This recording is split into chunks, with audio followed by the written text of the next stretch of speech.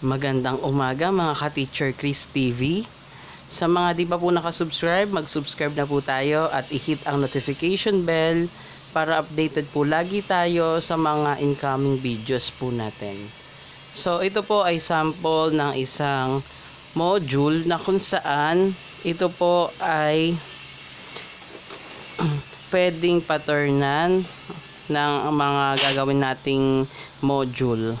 Yan. So, ito po ay may mga sinite po tayong mga references. Yan. So, ito po ay isang module ng Araling Panlipunan. So, lumako tayo sa Aralin 2, Kapaligiran, Pinagmulan at Pamumuhay sa Komunidad.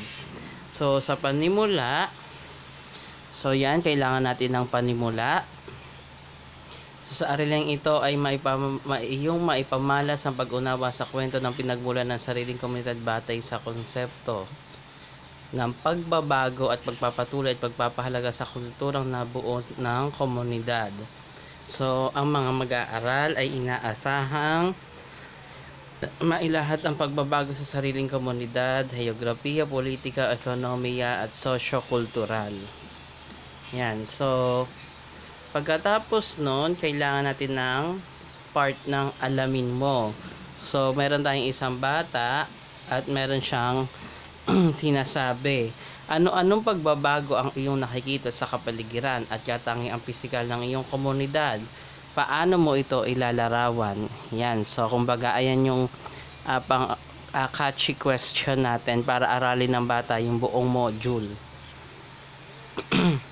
Meron tayong, yan, next natin, tuklasin mo. So, dito na yung parang discussion pag-aralan paghambingin ang magkaibang larawan ng komunidad ng Valenzuela. So, ito ang Valenzuela noon. Yan. So, ayan, sinite natin yung kung saan natin kinuha yung pictures. Kultura Valenzuela. At ito naman yung komunidad ng Valenzuela sa kasalukuyan. Yan. So, kitang-kita naman agad may pagbabago sa pictures pa lang. So, from Wikipedia yung itong mga pictures na to. After nyan, meron tayong parang pag-unawa doon sa ating mga examples. So, tatanungin natin, ilarawan ng kapaligiran ng Valenzuela City noon. Ano ang nakikita mo pagbabagot sa kapaligiran ng Valenzuela City sa kasalukuyan? Ano-ano ang katangi ang pisikal na nanatili pa hanggang sa ngayon paghambingin ng kapaligiran ng Valenzuela City ngayon at noon. Yan. So, achieve na agad natin yung objective natin dyan kasi uh, it talks about more on changes sa Valenzuela City. Pagkatapos niyan, yung discussion na magkakaroon tayo ng gawain. Yan. So, idikit sa kartolina ang mga larawang nakalap gamitin ang format sa ibaba. So, ang, ang mga bata ay may iba't ibang komunidad. So, uh, hayaan natin sila na gumawa nito. So, ang aking komunidad ngayon, ang aking komunidad noon. Yan. So, para malaman ng mga bata yung mga pinagmulan talaga ng pinagmulan at pagbabago ng kanilang komunidad.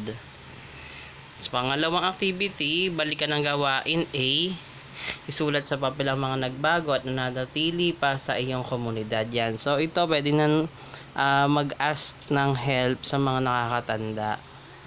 Yan. So kasama 'di ba yan sa ano natin sa sa isa sa mga objectives natin yung pagkalap ng impormasyon sa tulong ng o sa pagtatanong sa mga nakakatanda. After nyan, tandaan mo Uh, maraming pagbabago nagaganap sa kapaligiran ng isang komunidad. Halimbawa, ang kalsada natin lubak-lubak, naging konkreto na. Ang dating mga bahay na yari sa NIP at kawayan niya ay konkreto na rin.